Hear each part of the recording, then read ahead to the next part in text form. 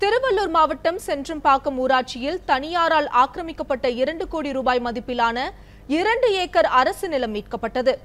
அரசு நிலத்தை மீட்க கோரி கடந்த இருபத்தி நான்காம் தேதி பொன்னேரி வட்டாட்சியர் அலுவலகத்தை முற்றுகையிட்டு போராட்டம் நடத்திய பொதுமக்களிடம் நடவடிக்கை எடுக்கப்படும் என அதிகாரிகள் உறுதியளித்தனர். அதன் பேரில் தனியாரால் ஆக்கிரமிக்கப்பட்ட அரசு நிலத்தை வருவாய்த்துறை அதிகாரிகள் மீட்டனர். பொதுமக்கள் புகார் அளித்ததால் மட்டுமே அதிகாரிகள் மீட்பதாகவும் ஆக்கிரமிக்கப்பட்ட நீர்நிலை புறம்போக்கு நிலத்தை அதிகாரிகளே கண்டறிந்து மீட்க வேண்டும் என்றும் பொதுமக்கள் கோரிக்கை விடுத்தனர்.